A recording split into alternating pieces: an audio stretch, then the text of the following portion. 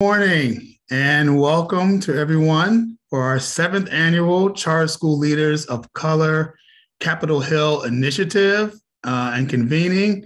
Um, we are virtual again for the second year in a row, uh, unfortunately, but we appreciate you all being in attendance and thinking it, as my church pastor always says, thinking it not robbery to be here uh, out of your busy day. We know you all are running incredibly um, high high quality, high performing charter schools across the nation, and taking a little bit of time to be part of our day to day to get valuable information and interact with your peers uh, is very important. Uh, and also spending a second day with us on tomorrow, speaking with your federal representatives, uh, both in Congress and in the U.S. Senate. Uh, we thank you uh, for for making the time. Uh, we are on the last day of Black History Month. Uh, and our prayers are also for those in the Ukraine right now as they fight uh, against uh, against um, the attacks and and the invasion that is happening in that in that particular part of the of, of the world. Um, today we are 43 uh, participating members, uh, charter school leaders coming from 21 states in the District of Columbia. So welcome, applaud for yourselves. That is the most states represented at our annual convening that we've ever had. And so we're very pleased that this is growing and participation is growing uh, and that your peers are growing and are participating. Uh, without further ado, because time is of the essence and we've kept this uh, session and this day brief, uh, but also focused, uh, I want to kick it over. And uh, let me just also say we're very proud that this particular session is sponsored by Google, who are partners with us. And to tell you a little bit more about that in this panel, I'm going to kick it over to Jennifer Vaden Barth. Jennifer, it's all yours. Thank you, Ron. Good morning. And thank you so much for having us today. As Ron said, my name is Jennifer Vaden Barth, and I'm the partner manager um, with, for the National Alliance for Public Charter Schools. And as some of you may or may not know, Google has been in partnership with the National Alliance um, since last summer. The goal of this partnership from the Google perspective was to further our mission, which is to improve equitable access to computing education by optimizing our programs along the CS education pathway. And for CS, it is always computer science in our world. So uh, just know that now.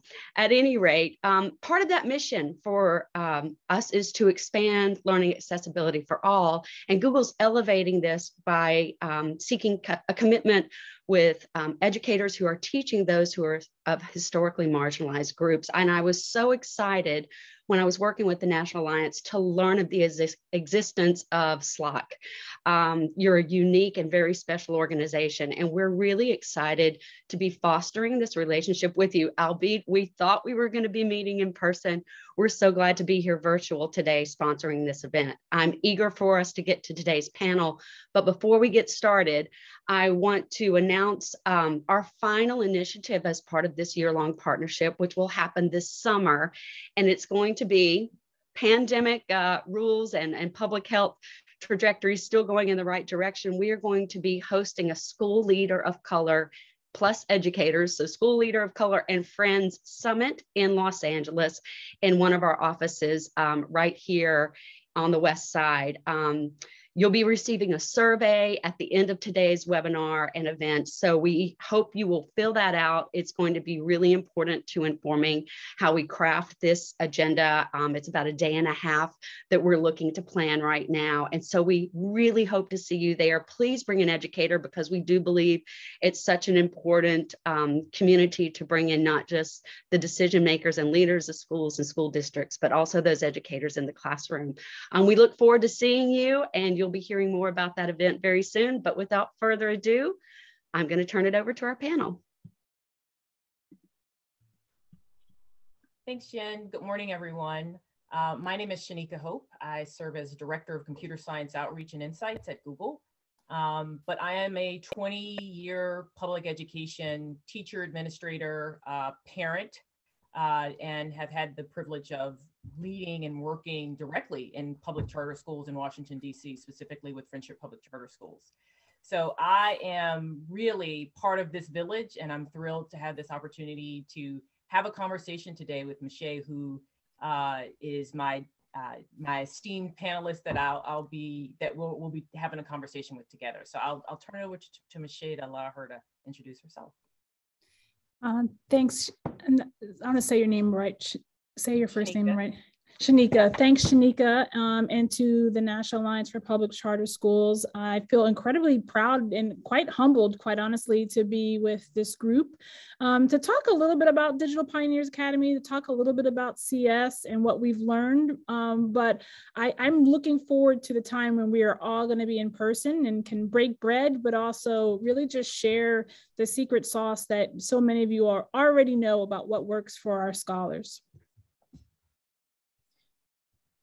With that, should I jump in, Shanika? Or? Yeah, that'd be great. Let's start with your work. Okay. Um, so again, thank you so much. Um, and you have to cut me off because I will talk all day long about this work. I uh, it is the most rewarding. It's also the most challenging. Um, but um, so I am the founder and principal of Digital Pioneers Academy. Uh, we have an amazing mission uh, to develop the next generation of innovators.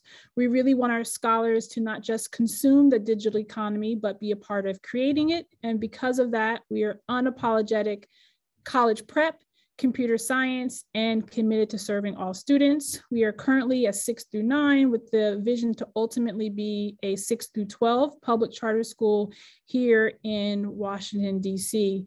And I think just to, to start off with our mission around innovation, it is, is um, we were really founded on this idea that um, right here in our nation's capital, we know there is an education gap. Um, but as I thought about it, and members of our founding team thought about the opportunity gap, we know that there were 1 million high paying, high demand jobs that were going to go unfilled in the computer science industry.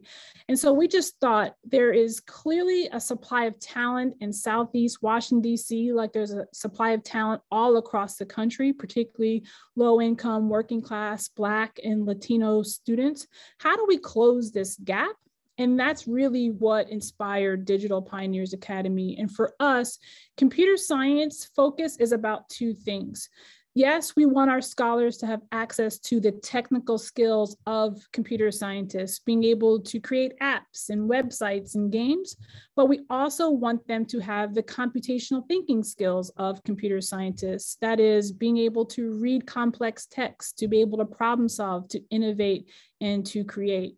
And that's really what Digital Pioneers Academy uh, is all about. I know I've been asked two questions. I'm happy to jump in, but I want to see, Shanika, should I keep going or if I should jump in about one, the challenge around access, and then how we might work together, how Google could help not just Digital Pioneers Academy, which I hope you will, but all schools. Yeah, I'd love to hop into the questions, but something that you said sparked a, a wondering for me. You talked about the initial, you know, the the unapologetic focus on not just the academic, the rigor, but also being explicit about computer science. You mentioned the 1 million unfilled jobs. I'm curious, as you look at the world that we're in today, we're still living within a pandemic that looks like it's transi- transitioning to an endemic. Um, how do you keep that that laser-like focus on computer science when we know schools are dealing with learning loss? So give me a sense of like, how do you balance that? How do you message that to your board, but also to your community, to parents who are wondering what's going on with my kids with reading? Are they are they on track? Are they competitive? What's going on with mathematics and some of the gaps there? Give us a sense of how you're dealing with that every day. Yeah, it's a great question, and I, I think it um, it's it's easy for me because for us, being unapologetic college prep and unapologetic computer science means we are both and. It is not either or. We focus on ELA and math just like we focus on computer science because these are the skills that I think this pandemic, the social unrest that's happened over these last years have just proven that our scholars, particularly the scholars who have the least amount of resources, need access to computer science, to technology. And um, at, D at Digital Pioneers Academy, we talk a lot about facing the brutal facts, but not lowering the bar. And the brutal facts are that at the beginning of this pandemic, uh, the students and families who suffered the most because of the pandemic also suffered the most because of the education opportunity gaps. And a huge uh, multiplier effect was access to technology. Um, do you have Wi Fi? Do you have a Chromebook? Can you stay connected? And for us, uh, when this pandemic first hit, we said to our families three things we have to stay connected. We have to keep our community together. And you can do that with technology through Zoom or any other way that you we could stay connected. Um, and the second is that learning can still continue. Um, and I think what we are focused on is now, uh, this is actually, I was talking with my team, we were a one to one school before, um, but I think this pandemic is actually requiring us to think our scholars need to be two to one. We, our scholars need Chromebooks at home and they need Chromebooks in school because learning has to continue all the time. So, you know, I think for us, it's it is it is part of who we are. And um, I think at the beginning of this pandemic, we just to be honest the first two weeks we did really really well because we already had the chromebooks. We made sure our families had had wi-fi but it was really six months into the the first full year of the pandemic when we knew we were going to be virtual that we actually really recognized the technology gap. Um, on our first day with our new students when they couldn't log into virtual learning we're like what's going on? And, and we realized it was all user error. And so i think with that and this is what I, I believe many school leaders are experiencing right now, is it before it was like technology was like, yes, you had a, a, a laptop card or a lab, maybe you had access. Now we I believe there's no way we can function with closing education gaps, keeping our community together if every student across the country doesn't have access to Wi-Fi and a device, there's no way we close opportunity education gaps in this pandemic and also innovate for the future. No, that's an important point. And you've, you've touched on a number of ways that I know that Google and, and other organizations have stood with with schools um, and school leaders is by helping to address the access issue. So you know, Google has, we have google.org, which has provided millions of dollars to support access. You mentioned Chromebooks to, to ensure that every student has the necessary tools to continue their learning.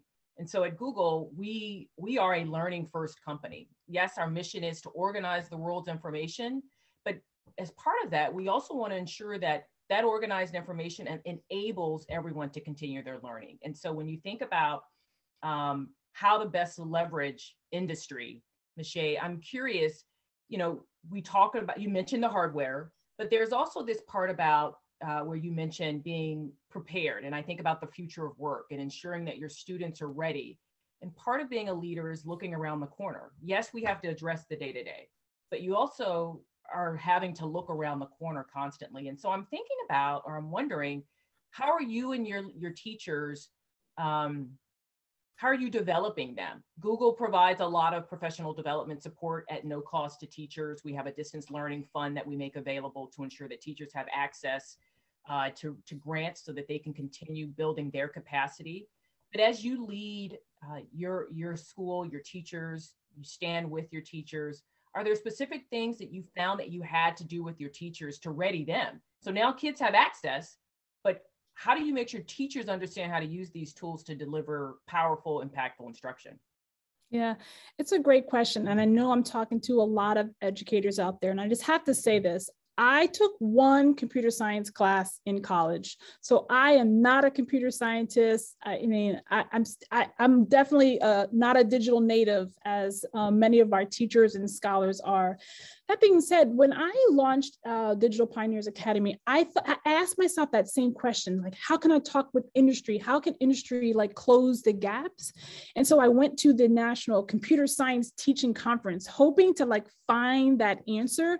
And what I found was a bunch of math, science, ELA teachers trying to figure it out themselves. And so I want to just say to our audience that you have amazing teachers. If they are curious enough, all the resources are there. I mean, you just mentioned, you know, Google uh, learning first and having all these platforms. That's the first thing. I think in our building of 60 staff, I have three teachers who actually studied computer science in undergrad or master's. So I want to just dispel this myth that there's not expertise within your buildings.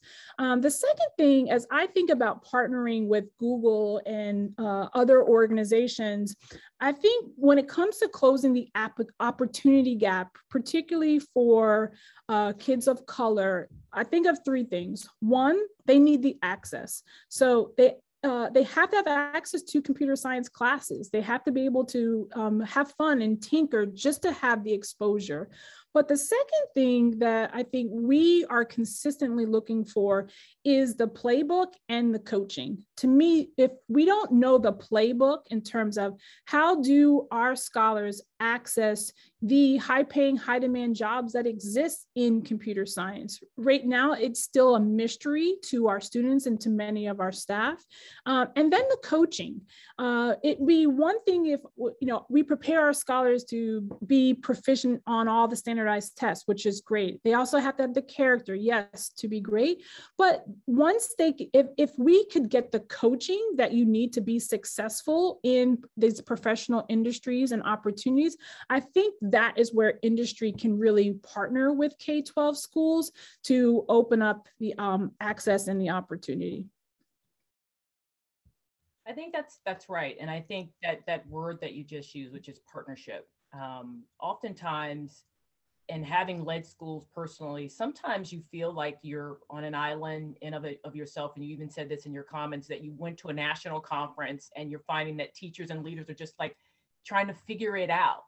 But there, there's something to be said about being in that broader community, the shared experience, and you all trying to solve and solve some of these these challenges together.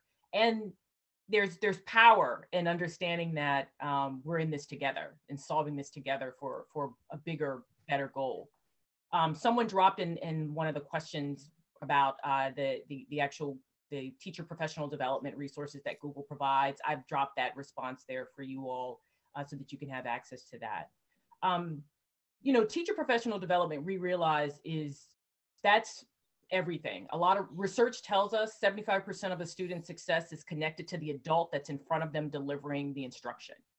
The other, which is interesting, you know, you look at the data, you would think, well, that the parent would be a pretty powerful force, you know, force with the students learning, and they are. But the, the power of the teacher really does um, is a it has an index uh, that is demonstrated that that is can really be transformative to the student's success or or not in the classroom. And so i'm curious as you reflect on the curriculum you reflect on um, how you structure opportunities for teachers to develop themselves to share and cross pollinate their learning and what what what they're doing in their classrooms.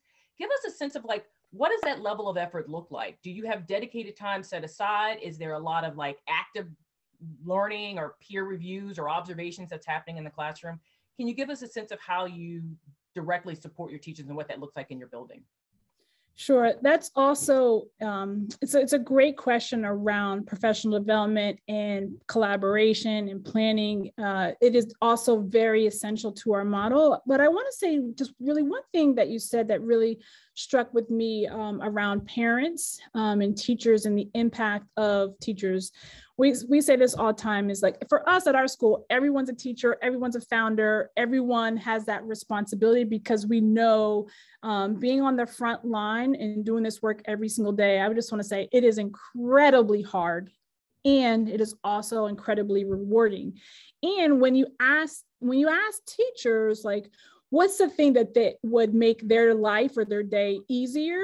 They would say you know parents as partners and so i think it is um, and that's really what we what we really try to emphasize is if parents were partners on this journey of achieving the mission of whether it's preparing for the next generation or being college and career ready how might we operate differently and for for I think for us, our what we know uh, is that our parents want their kids to secure these high paying high demand jobs. They also want them to have good character. And so i think if we are partnering with our parents on this journey it really does allow us to achieve the big dreams and goals that we've shared. So again i just wanted to to, to highlight that the parent part is incredibly important. Um, in terms of professional development uh, it is also essential for us to collaborate and share so again we're a six through nine and our teachers all share and collaborate across the grade level. We have at least um, one professional development a week. We have an early release on Wednesday, so scholars leave at one o'clock, and then from one to 4.30, teachers have time to collaborate and share. But then also during the regular school day, our teachers get at least 60 minutes and sometimes up to 120 minutes a day to collaborate, to plan, and to share. And that's really just the in-house. Um, but we also provide our teachers the opportunity to get external um, training or resources, to go to online training and resources. Our teachers, if they see a class that they want to take, we encourage them to do that. Now, I am, I am, um, I'm sensitive to, we don't want to ask our teachers to do one more thing because they are doing so much. Um, and so being able to create that space within the school day uh, and by having an early release does allow us to do that. But there are some teachers who really um, take advantage of those uh, online opportunities or weekend learning opportunities or even uh, during the summertime. Thank That's super helpful and I, and I just want to underscore your point about the the work that teachers do and the importance of that partnership with parents. We we can't do this work well unless we have that partnership. And and and again, even just thank you to you. I I we we've been you know as we watch and how this pandemic is playing out and we look at everything that teachers school leaders are grappling with day to day um, words can't express enough gratitude for for for how you all champion and and push through and advocate continue to advocate for for our students. Um, i want to pivot something you mentioned about the future of work and again this idea of looking around the corner.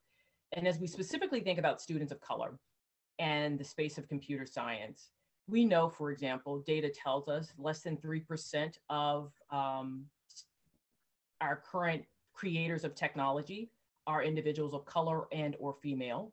Um, we also know that when we look at persistence and completion of post-secondary study, this is two-year or four-year degree.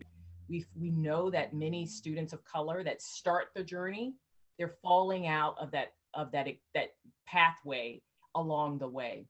And so when you reflect on knowing that your building is six through nine, and you said you have the aspirations of growing into a high school, when I think about industry and how we currently stand with schools. Google, for example, a lot of what we offer today are programs like a Grasshopper, which is this mobile opportunity that allows kids and adults to learn coding very easily. And it's gamified. It's done in a way that you don't even realize that you're actually coding with Java or with Python. So it's done in a fun way with leaderboards and things to get kids and the user excited. We also have things like CS First, which is a video based um, curriculum that's typically for grades four through eight. And it's designed to, again, expose students to computer science in a way that allows them to identify, to see themselves. So you'll see in the videos technologists of color, uh, women that are leading the work um, in this space and are creating amazing technology. Um, but also helping students to see that being a tech creator doesn't necessarily being a, mean being a coder or a software developer. It could be you're an entrepreneur. It could be you're doing leading a marketing campaign that uses a lot of data so that you can understand the needs of customers. And so trying to dispel and break these myths that technology or being in tech or computer science is just being on a keyboard by yourself kind of coding. Um, I'm curious as you in particular with your eighth and ninth grade, um, how are you helping your students connect careers, but also see themselves identifying in, in technology? Yeah, it is a, a really great question. Uh, we, um, you know, there's pre pandemic, there's post pandemic, how we have uh, attempted to be able to do that. I do think the, the first thing is like we tell our scholars every single day, like we are unapologetic committed to computer science because we want them to be the CEOs and innovators today and tomorrow. So we are consist- constantly really inspiring them to be that next generation generation of innovators. So I think that's like point number one. Number two, uh, again, when we uh, were in in-person learning prior to the pandemic and there things were not shut down we took our scholars to colleges to visit to talk to other college students to talk to cs students. We actually visited google um, took our scholars to the actual playroom. It was such a hit. Like they actually saw it. Like they saw the food that you all had they saw the playroom. They saw the game. They could not believe like this was work. We're like yes these are the opportunities.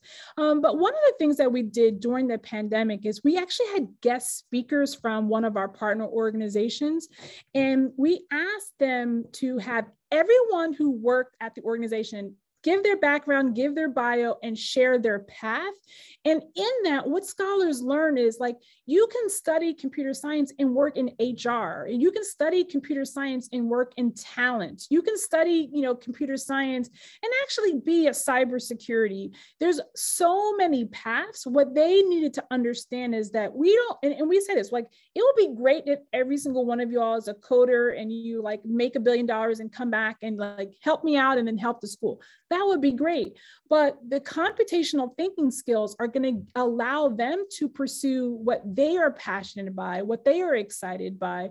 And I do think the exposure to more people, uh, sometimes people of color, but that also is not a requirement. They just need to see the multiple paths around how you can use these skills to fulfill your dreams, your hopes, and your passion. And that's why, um, and, and the way we did that, it was literally a 15 minute brown bag Zoom meeting where someone came on and just shared their background. And, and I'm, I am curious how you actually became interested and told your path to Google. I'm sure you didn't have the whole playbook when you were in middle school. That's what we're trying to do is give kids the playbook, give them the path. And sometimes that's just hearing the stories. Yeah no there really is power in in the storytelling for sure. Um, and it, it's interesting as i listen to you share my journey had had similar connection points. Um, i naturally love puzzles naturally love math and so math was very easy. And it was through a teacher um, that said hey would you try this summer program? Uh, i was in middle school and my my region had a program just for students of color where we actually lit, got to go to an HBCU, stay on campus for a few weeks. We completed, you know, exploratory hands-on learning, but like to be on a college campus, to be around faculty that look like me in math and science, like that is what created the light bulb that wait a minute, I, I actually belong here. I and mm-hmm. I can do it. And so having those summer learning experiences, but really also having an adult champion to say, Shanika, I want you to take this calculus course in high school. When I'm like, I'm done courses, like I can have an easy uh, senior year. Why would I do that? Um, but having that adult say to me, this is why you should do it. It's the right thing for you to do. And so those touch points along the way is what helped me to at least have the strong foundation so that when I got to college, I could have a lot of choices. And mm-hmm. ultimately, my teacher, his his name was Mr. Gilkey, he's what led me into education. That's how I actually became a teacher because I was like, I want to do what Mr. Gilkey did for me. And then because of the math and science exposure, it opened up all of these other opportunities that allowed me to end up at a company like Google leading computer science education uh, globally. And so that's the thing that I like to share with students is like just what you said. There is lots of paths to get to these different places of actually influencing and being a tech creator. Um, and that's what makes it so interesting. Like there is no single one way to do it. Um, and you're right, the power of the story is what can inspire kids. And that's one of the things that we also do here at Google is we, we have a number of student experiences. We have something called Code Next, which is a four-year high school experience where students come into a space, they're partnered with a Googler and other local um, technologists that are like their champion. And they we pre- provide these summer experiences ex- experiential learning. And then at the end of that experience they also get some financial support to help them to continue their post-secondary studies. Um, we also have in- internship opportunities for college students we have scholarship programs for college students as well in particular for students of color because we know that less than 4% representation in tech fields as creators of tech that's that's insufficient. Um, and so these are just some of the ways that google tries to give back to do exactly what you described which is to help kids see themselves and to understand that they belong and they can do it. And there is no one journey to get there which is exciting um, i want to go back and, and actually a question popped up in our um, our chat back to parents um, there's a there was a recent poll or survey that was put out by published by Gallup that actually showed that during the pandemic, girls in particular, their I, their their sense of belonging and identity in computer science has actually regressed. That it's actually gone hmm. backwards since pandemic. I think we're seeing a, a regression of, of somewhere between five to seven percent where students, and it was already low to be clear. Um, and then what's also interesting in the same survey, it, it talked about the power of the parent because the parent's influence or the caregiver, where the parent's ability to help students navigate and figure out careers, like, you know, our parents being a doctor, where did that come from? Being a lawyer, where did that come from? It comes from the voices of the adults that are around us. And so, one of the questions that came up, and I'm curious, is, you know, as you partner with parents and caregivers, are there specific kinds of training or workshops that you give parents or caregivers to support their kids, their, their children's learning? Oh gosh, man, you you I've got so many things I want to say about this. Um, well, and I wouldn't say there's anything specific. Um, and it really happens um, probably the first six weeks of a scholar with us taking computer science. I will tell you, half of them are like super excited and they learn to fail forward. And then the other half, I, I mean, I have so many scholars who are like, I cannot do this. Like, I don't get it. But after we really teach them about persistence and failing forward and problem solving, to see that light bulb literally go off for a scholar when they actually get it, like there is no right answer. You just have to fail forward. You have to try. You have to um, try to make those connections. Our scholars are our best advocates and resources when it comes to explaining and bringing their parents up to speed about why computer science.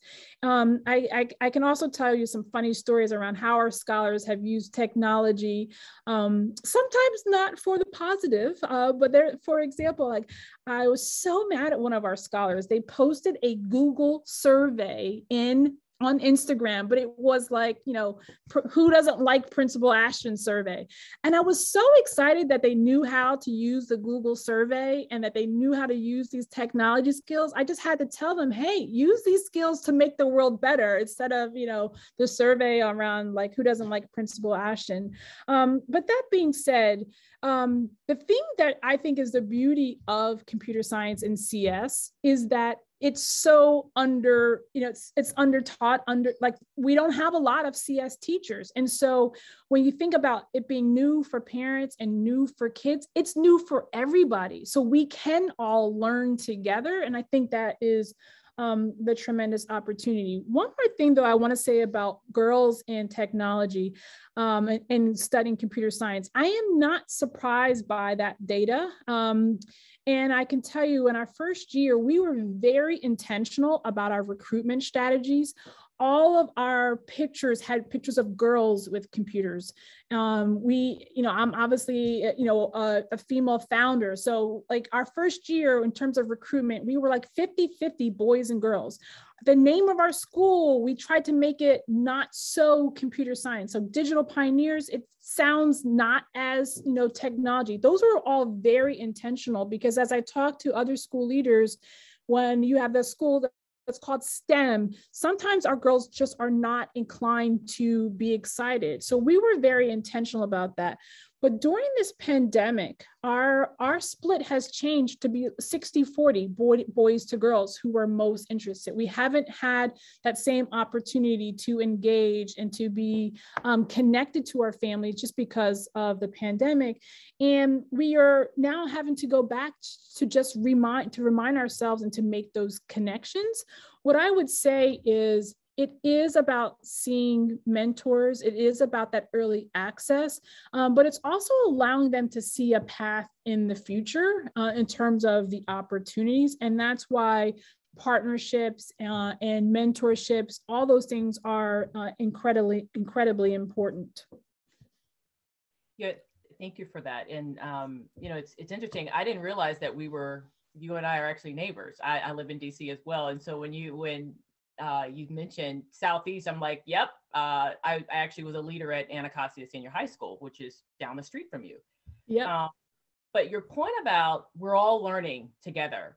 One of the things that stood out, and and I'll drop it in in, in our message here for everyone, um, is back to the teacher again. And I, I can't harp enough about the teacher. One of the things that Google has done in partnership with George Mason University, and we're actually looking to replicate this across the country, we've partnered with George Mason University to provide paid teacher externships in the space of computer science, where teachers will get a several thousand dollar stipend. They will be paired with an industry partner in the community. Google is one of the, the industry partners as well. And teachers will work alongside of a technology team. They make George Mason will provide also a course where you get graduate credit hours to actually build curriculum that teachers will then take that curriculum, implement the following year in their classroom, still have that ongoing professional learning community that George Mason will um, facilitate. And if teachers so desire, Mason, as part of this partnership, will help teachers sit and prepare for the licensure for uh, or the endorsement in computer science for their respective state.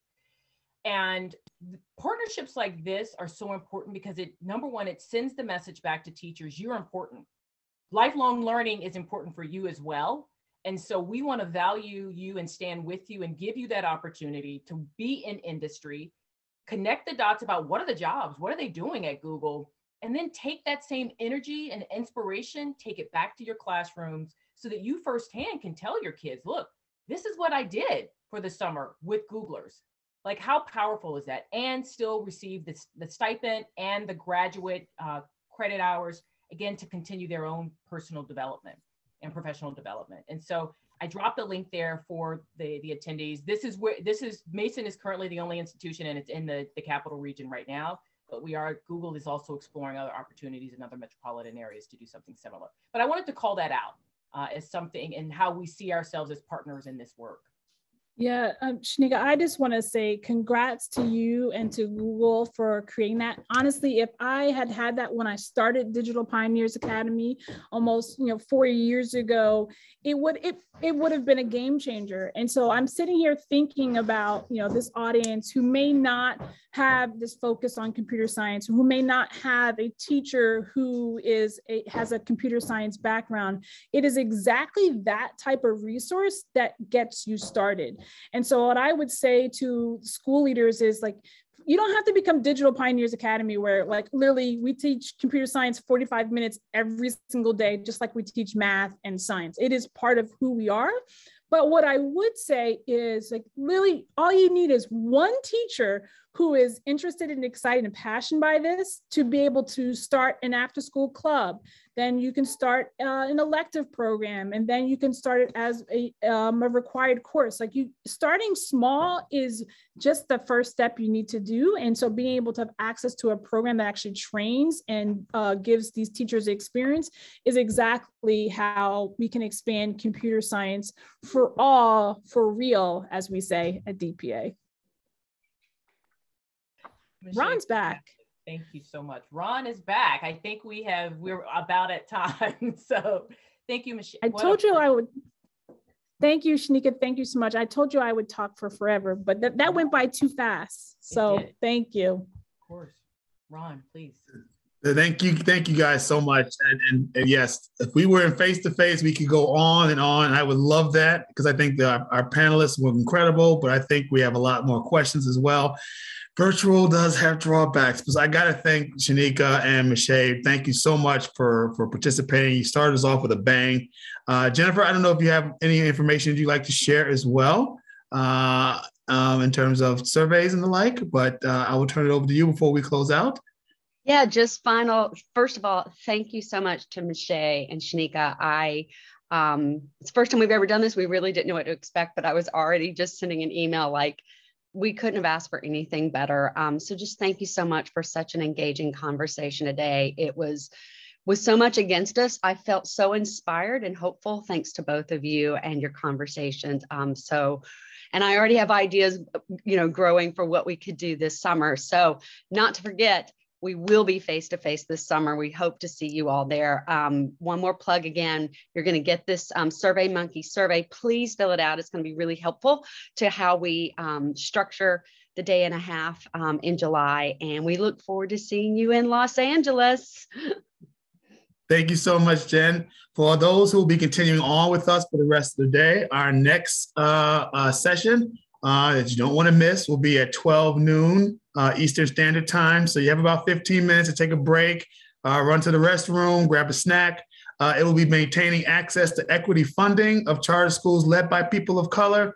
And we've got some great panelists for that as well. So take a break and join us back at the session link. Thank you so much, folks, for participating. See you soon.